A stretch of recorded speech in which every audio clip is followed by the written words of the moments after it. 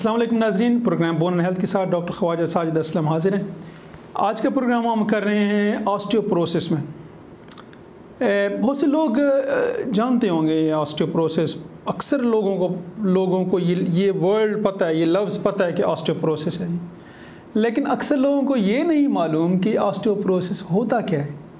जो main concept है लोगों में, वो ये है कि ऑस्टियोप्रोसिस हड्डियों में कैल्शियम की कमी है या विटामिन डी की कमी है। हालाँकि ऐसी बात बिल्कुल भी नहीं है। ऑस्टियोप्रोसिस एक बीमारी है।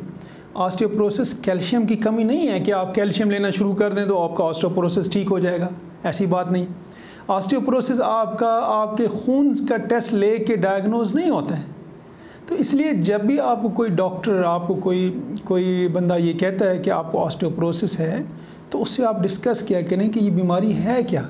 ये सिर्फ़ ऑस्टियोप्रोसिस के बारे में नहीं है। जनरली कोई डॉक्टर आपको आपको कहता है, कोई, कि ये आपको ये बीमारी है तो आप डिस्कस क्या करें? ये जो हम प्रोग्राम करते हैं, ये ये अवाम में, लोगों में शूर पैदा करने के लिए अवेयरनेस क्रिएट करने के लिए हम करते हैं, ताकि लोगों को पता हो कि उनके राइट्स क्या हैं। लोगों को पता हो शूर हो कि मैंने क्या करना है, मेरे लिए क्या इंपॉर्टेंट है। तो कोई भी आपको डॉक्टर कहता है, आपको ऑस्टियोप्रोसिस है तो थोड़ा सा दो मिनट लगा के पूछ लिया करें डॉक्टर साहब, ये है क्या चीज़? ऑस्टियोप्रोसिस के लिए ब्रीफली मैं बता दूँ ये होता क्या है? क्या चीज़ है बेसिकली ये है जैसे आप आम अल्फाज में कह लें कि हड्डियों का दीमक है। आ, कुछ लोगों ने अक्सर लोगों ने देखा होगा लकड़ी को जब दीमक लगता है अगर आप गौर से कभी आपने देखा हो अगर लकड़ी को दीमक लगा हो तो लकड़ी बाहर से आपको बिल्कुल ठीक नज़र आती है वैसी की वैसी नज़र आती है। लेकिन जो ही आप हाथ थोड़ा सा हाथ उसके ऊपर मारते हैं लकड़ी टूट जाती है। और फिर आप अंदर से देखते हैं, अंदर से सारी हड्डी खोखली हुई होती है, खाली हुई होती है। और आपको छोटे छोटे कीड़े नज़र आ रहे होते हैं उसके अंदर। वो दीमक होती है बेसिकली तो दीमक करती क्या है कि वो लकड़ी को अंदर अंदर से ही खा जाती है। बाहर से नहीं खाती अंदर अंदर से खा के खोखला कर देती है।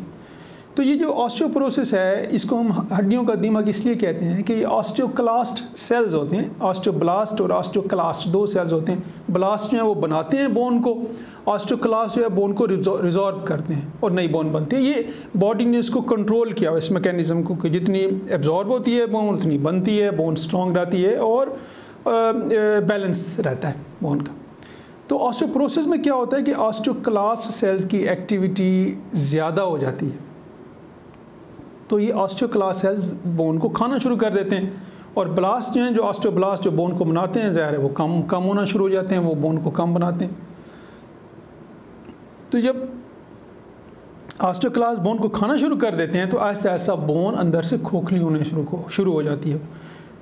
वीक होना शुरू हो जाती है, पतली होनी शुरू हो जाती है उसकी कार्टेक्स तो वो कमज़ोर से कमज़ोर आप होनी शुरू हो जाती है और फिर टूट जाती है और आपके अपने वज़न से टूट जाती है। ये नहीं कि आपको एक्सीडेंट हो या आप गिरे, आपके अपने वज़न से ये हड्डी टूट जाती है।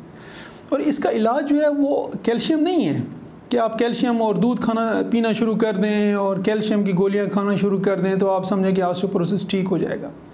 ऑस्टियोप्रोसिस की डायग्नोसिस आपके ब्लड से नहीं होती। ऑस्टियोप्रोसिस के लिए अलग से एक टेस्ट होता है जिसको बोन मिनरल डेंसिटी कहते हैं या आप डेक्सा स्कैन कहते हैं इसको। वो एक्सरे की तरह की चीज़ होती है, उसमें हम फिर डायग्नोस करते हैं कि आपको ऑस्टियोपीनिया है या ऑस्टोप्रोसेस है।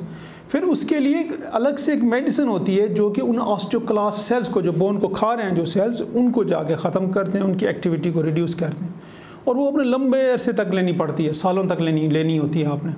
तो इसलिए कभी भी ये मत सोचें कि आप कैल्शियम ले रहे हैं तो ऑस्टोप्रोसेस ठीक हो जाएगा। First of all osteoporosis diagnose भी हुआ है कि नहीं है? आपको आपको कोई टेस्ट भी किया है किसी ने कि आपको ऑस्टोप्रोसेस है? या जिस, किसी ने ऐसे ही कह दिया, अभी भी आप बुढ़ी हो गई हैं तो आपको ऑस्टोप्रोसेस है। तो ऐसा नहीं होना चाहिए।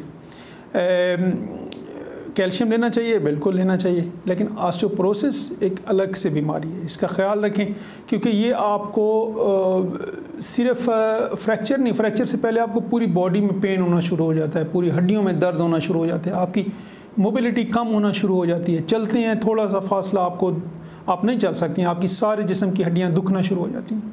ज़्यादातर जो होता है ना ऑस्टियोप्रोसिस वो होता है ख़वातीन में और पोस्ट मीनोपाजल्स होती हैं। जिनको मीनोपाज हो जाता है, उसके बाद इसके चांसेस ज़्यादा हो जाते हैं और वो भी ख़वातीन में, लेकिन मेल्स में भी हो सकता है ये। तो ये आपने, अगर आपको इस तरह के इशू हैं तो आपने डॉक्टर से कंसल्ट करना है और डिस्कस करना है इस बारे में। अपना और अपनी फैमिली का ख्याल रखिएगा। डिस्प्ले पे मेरा नंबर है इन केस आपने डिस्कस करना है या आपने अपॉइंटमेंट लेनी है you are most welcome thank you